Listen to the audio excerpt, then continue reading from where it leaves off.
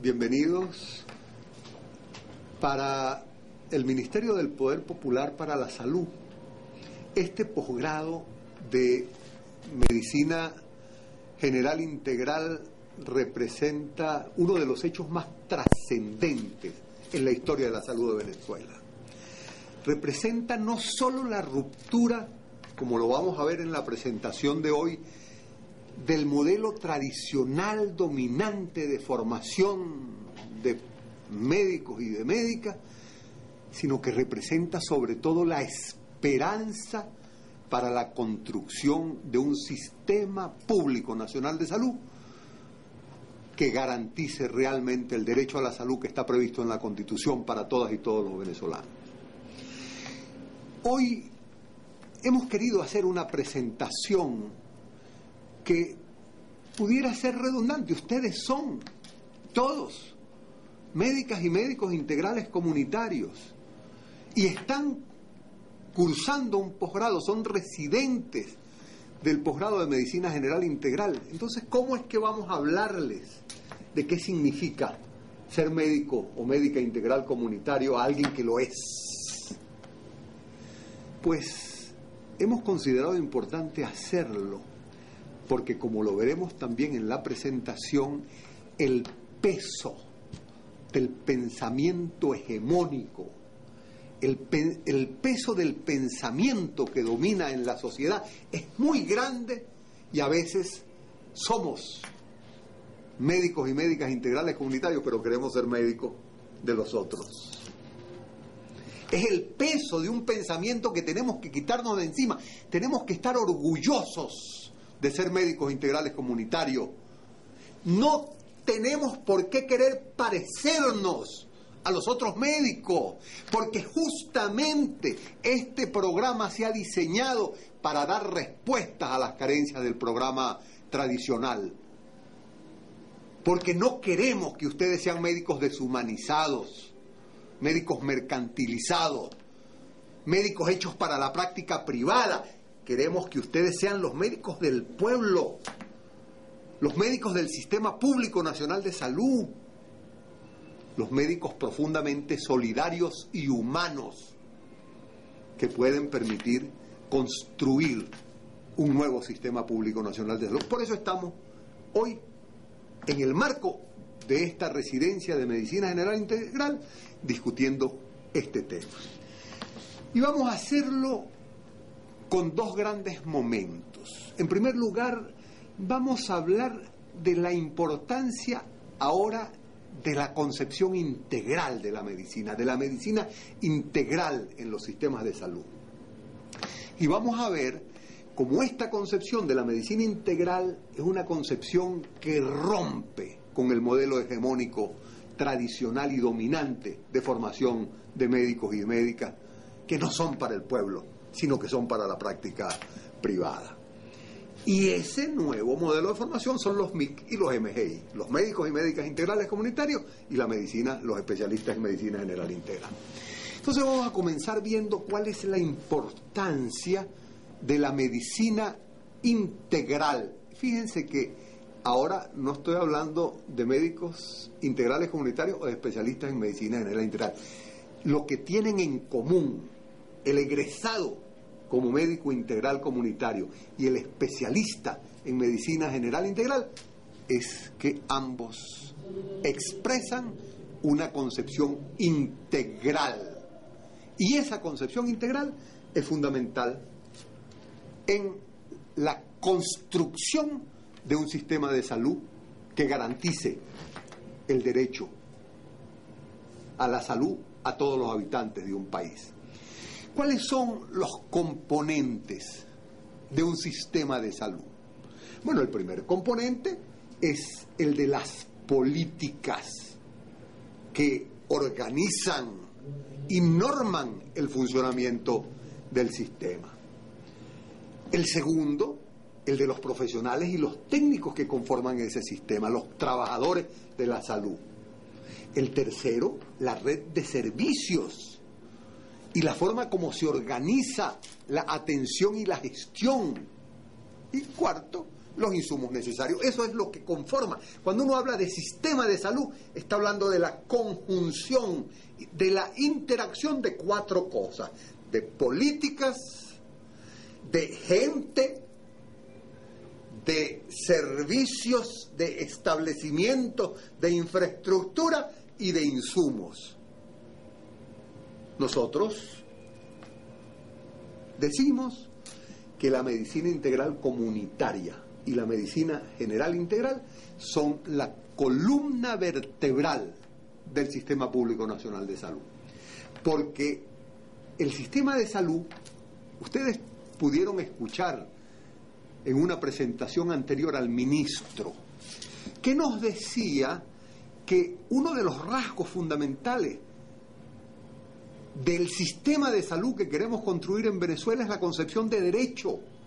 Hoy en el mundo se enfrentan dos modelos distintos de sistema de salud, los sistemas de salud de mercado, en donde la salud se ve como una mercancía que se vende, que se compra, que se coloca en la oferta y en la demanda, y un modelo en el cual la salud es vista como derecho de todos y de todas los ciudadanos. Entonces, esa confrontación en Venezuela se resolvió desde 1999, cuando en la Constitución de la República quedó establecido que la salud es un derecho humano y social fundamental, pero además se añade en la Constitución, en su artículo 83, que para garantizar ese derecho se debe construir un sistema público nacional de salud. Entonces el sistema público nacional de salud del que estamos hablando es un sistema para garantizar el derecho a la salud de todos los habitantes. Y para ello, la única forma de hacerlo es a partir de la concepción de la medicina integral. Veamos por qué. Teóricamente, un sistema de salud funciona organizado en muchos países por niveles. Nosotros preferimos en estos momentos hablar en Venezuela de redes. Nosotros hablamos de una red ambulatoria, hablamos de una red ambulatoria especializada y hablamos de una red de hospitales. Bueno, en esa red ambulatoria, que es lo que en algunos países se llama el primer nivel de atención, debe resolverse el 85% de los problemas de salud de la gente.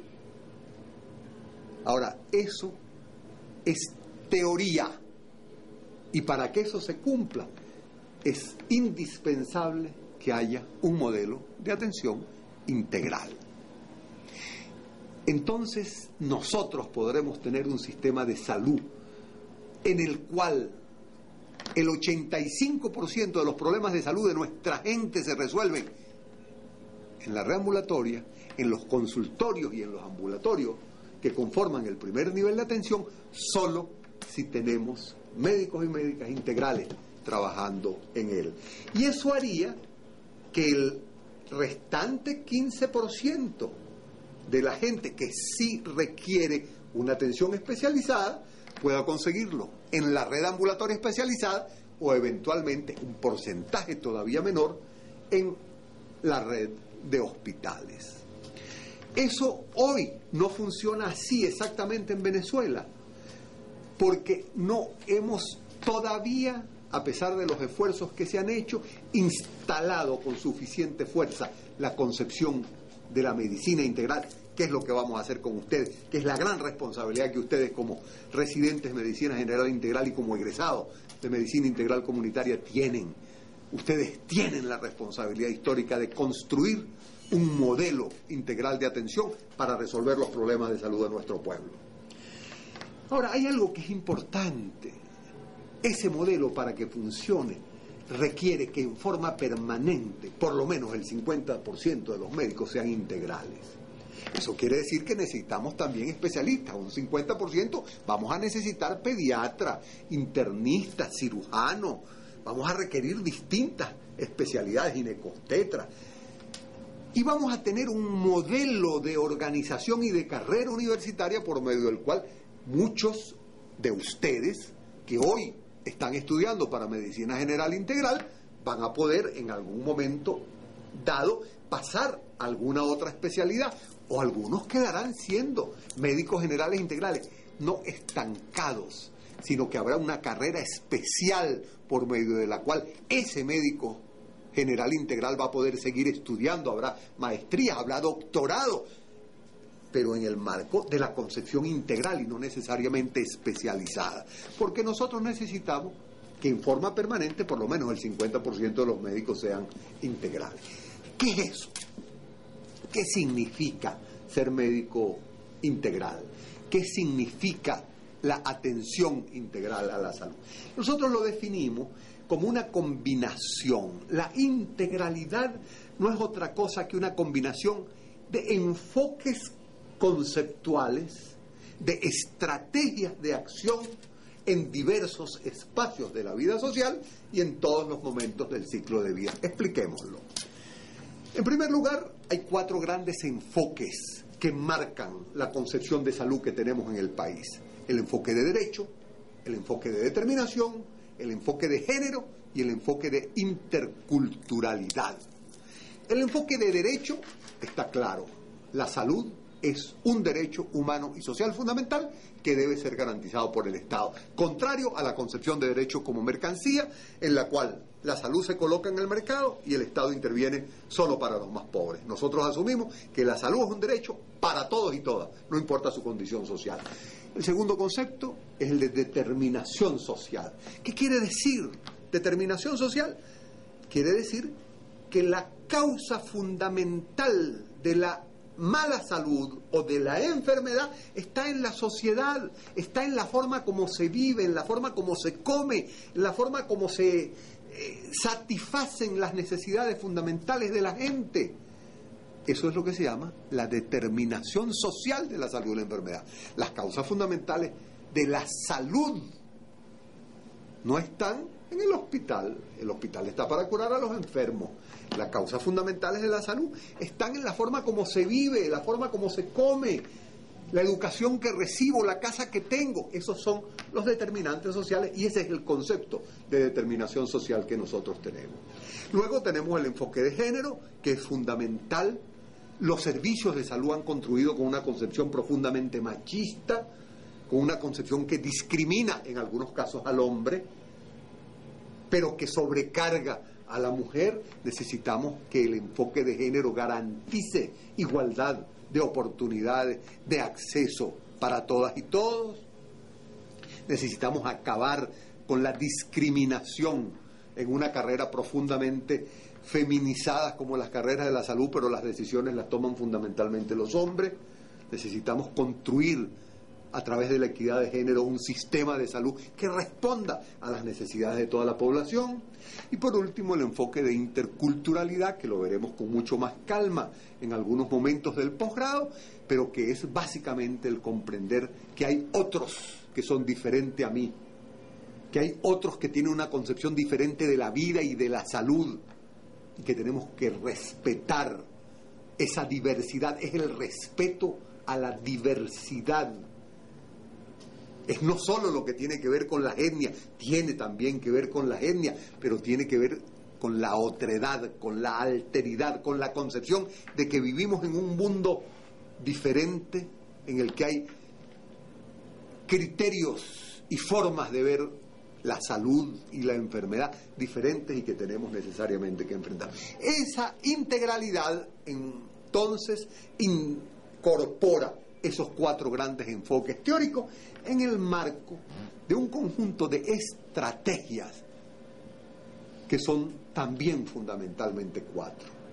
Y la primera y la más importante son las estrategias promocionales de la calidad de la vida y de la salud. Las estrategias de prevención y anticipación de la enfermedad. Por supuesto, las estrategias de curación de la enfermedad cuando la enfermedad existe y de rehabilitación cuando sea necesario y las estrategias de participación de los trabajadores de la salud en las actividades de la comunidad y de la comunidad en las actividades de salud. Es una participación dialógica que tiene dos elementos. No es solo la comunidad que participa, es que yo soy parte de la comunidad y también tengo que participar. ¿Qué sucede hoy? que el grueso de las estrategias son las estrategias curativas. Consumimos el 80% de nuestro tiempo en curar la enfermedad, cuando el 80% de nuestro tiempo debe ser para promover la salud. Por supuesto, estamos preparados para atender a los enfermos, pero el enfermo expresa el fracaso de la actividad de promoción o de prevención y vamos a curarlo, pero debíamos haber evitado que se enfermara. Por supuesto, somos mortales, siempre va a haber enfermedad y muerte alrededor de la vida. Nuestra tarea es garantizar que no se produzca enfermedad y muerte innecesaria e injusta en la, en la población. Y eso lo tenemos que hacer en los distintos espacios de la vida social. No solo en el consultorio como usualmente se hace. Tenemos que ir a la familia, tenemos que ir a la comunidad, tenemos que ir al espacio de trabajo, al espacio laboral. La concepción hegemónica de la medicina hace que el médico se ve con una bata blanca sentado en un consultorio atendiendo pacientes enfermos. No puede ser. Nosotros tenemos una concepción donde ese médico con esa bata blanca va y visita la comunidad y busca a la embarazada adolescente que vio la semana pasada en la consulta para ver por qué hay una embarazada adolescente. ¿Cuáles fueron las condiciones de ese ambiente familiar que permitieron eso? O va a la escuela y ve las condiciones que hay en, el, en la escuela y se reúne con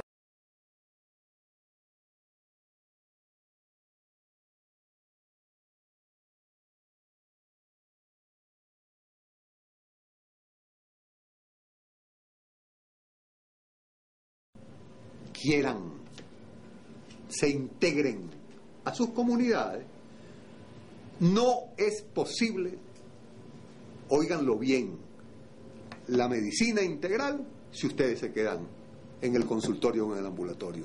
Tienen que salir a la familia, salir a la comunidad, meterse en la escuela, meterse en los centros laborales. Esa es la clave de la integralidad. Y esto hay que hacerlo a lo largo de todo el ciclo de vida, que va desde el nacimiento hasta la muerte. Atendemos los distintos espacios vitales. Y eso hace que entonces en cada uno de esos espacios vamos a tener un conjunto de actividades o de tácticas operativas, en donde si yo estoy en el consultorio a nivel individual, tengo que hacer una historia clínica integral, tengo que hacer seguimiento a los protocolos de diagnóstico y tratamiento, si estoy en el familiar, tengo que hacer ahora la historia y la visita familiar integral. Me permite la visita a la familia hacer seguimiento de casos, actividades educativas con la familia, vigilancia en la familia de señales de peligro. Esto no es exhaustivo, esto hay muchas más y van a estar en los protocolos que ustedes van a tener. A nivel comunitario tengo que tener necesariamente en el consultorio un mapa un croquis donde conozco la comunidad, donde sé cuáles son sus calles, dónde están sus establecimientos, dónde vive la gente, que si yo tengo un paciente diabético sé dónde vive y si no vino a la consulta a buscar el medicamento lo visito y le veo los signos de deterioro que pueda tener. O sea, es la actividad integral de ustedes como médica y médico. Y por supuesto, esto implica también conocer la realidad laboral del sitio donde ustedes van a estar trabajando. Y la actividad laboral no solo entendida como empresa, yo tengo que saber si ahí hay cauchera, si hay panadería, los distintos centros de producción que pueden haber, cómo afectan quienes trabajan, el entorno laboral es fundamental. Eso es hacer atención integral. Y en ese sentido, nosotros, desde este posgrado, estamos garantizando cuidado integral a la salud como parte de una estrategia que, es parte de la promoción de un concepto que vamos a ver con mucho más profundidad luego, que es el concepto del el buen vivir, de la vida buena, contraria a la de la vida poco saludable, nociva, que usualmente se lleva en esta sociedad. Esto, este cuadro, es fundamental para que ustedes lo mantengan como guía de lo que debe ser la acción integral de ustedes en los consultorios. Y el gobierno ha impulsado un nuevo modelo de formación para poder garantizar esa atención integral. Después de muchos años de trabajo, se llegó a la conclusión de que nuestras universidades estaban formando profesionales, sobre todo médicos, que no estaban concebidos para la integralidad. El modelo dominante, flexneriano, tradicional y hegemónico, es un modelo que tiene seis características fundamentales. La primera es que es un modelo profundamente biologicista y fragmentado. La medicina tradicional no ve al hombre o a la mujer integralmente, los ve por órgano. Entonces le ve el corazón, le ve eh, la próstata, el útero, el cerebro. Esas cosas se estudian así, se aprenden así y luego se practican así.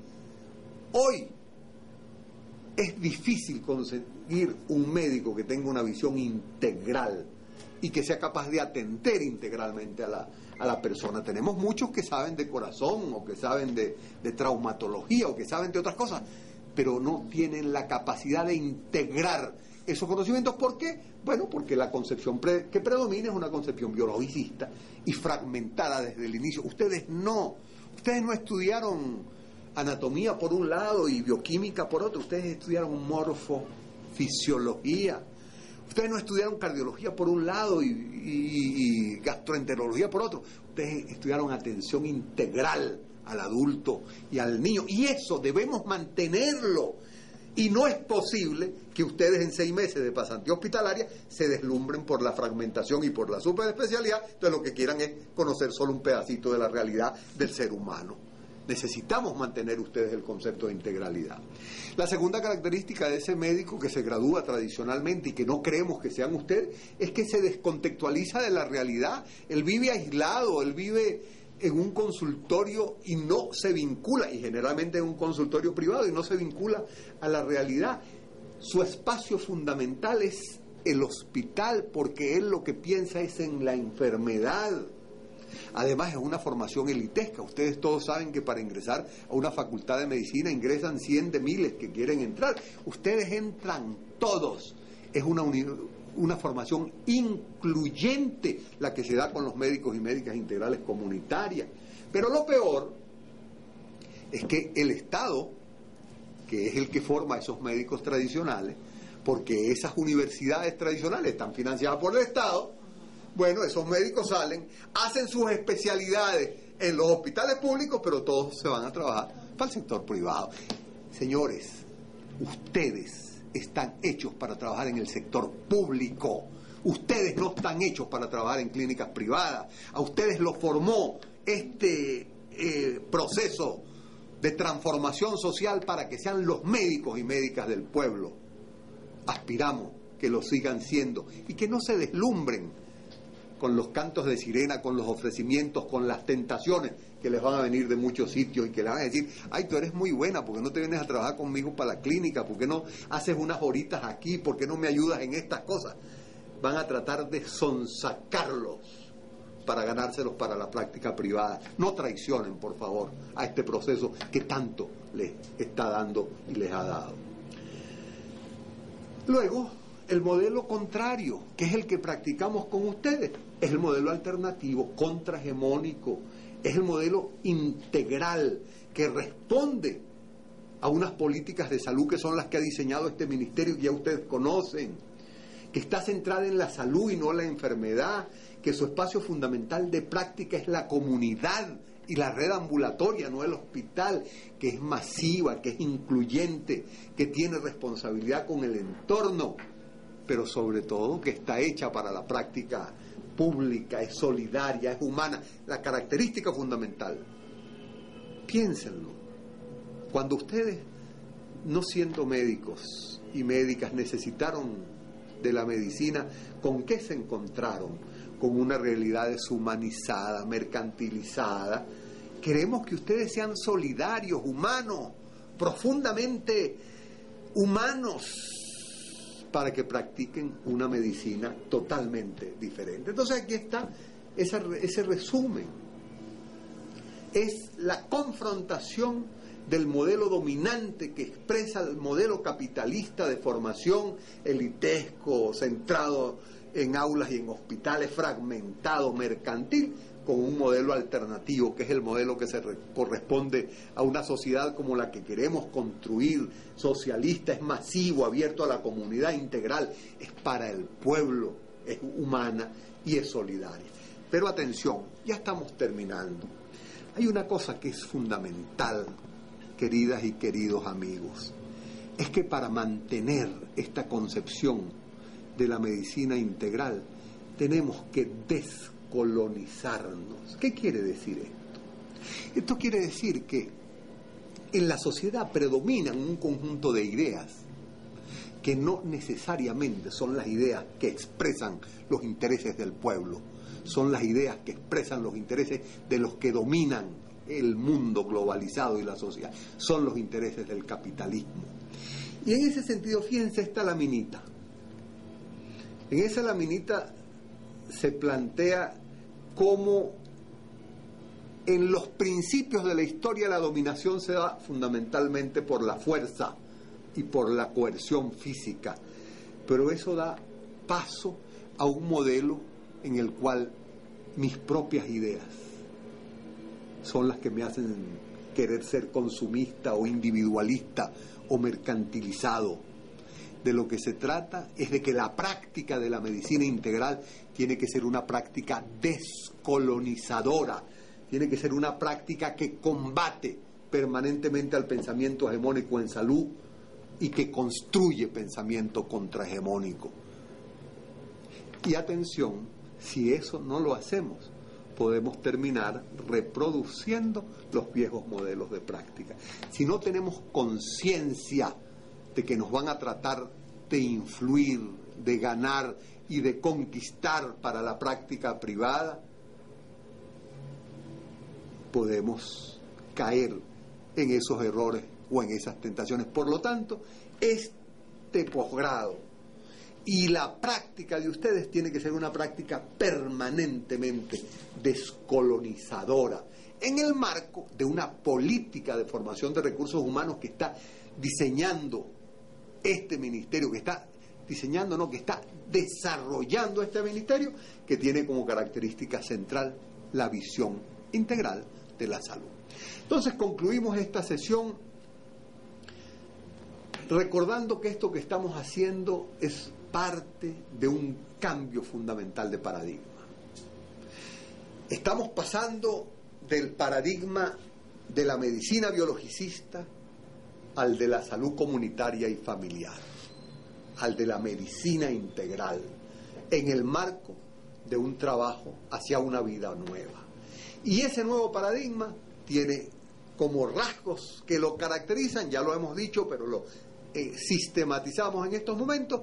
El primero, la concepción de la salud como derecho humano y social fundamental. La segunda, la salud entendida como parte de un nuevo concepto de vida, de lo que hemos llamado el vivir bien. La determinación social de la salud por entender que la salud se construye en función de la forma como las comunidades y la gente satisfacen sus necesidades fundamentales.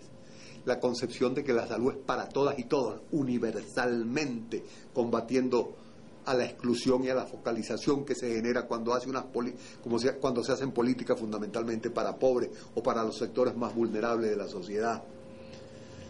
La integralidad en el modelo de atención, que ya la hemos insistido, la participación y la contraloría social como elementos fundamentales de este nuevo modelo y los enfoques de género y de interculturalidad.